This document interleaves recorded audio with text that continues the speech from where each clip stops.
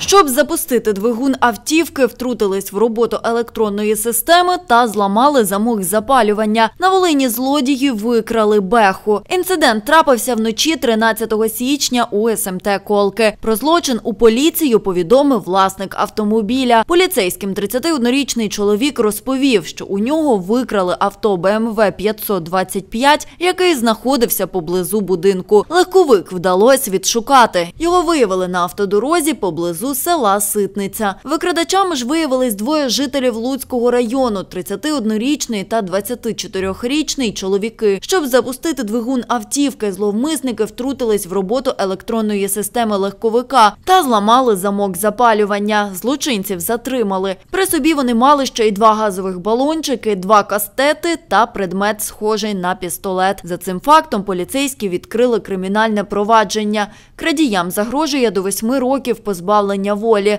Нині триває слідство.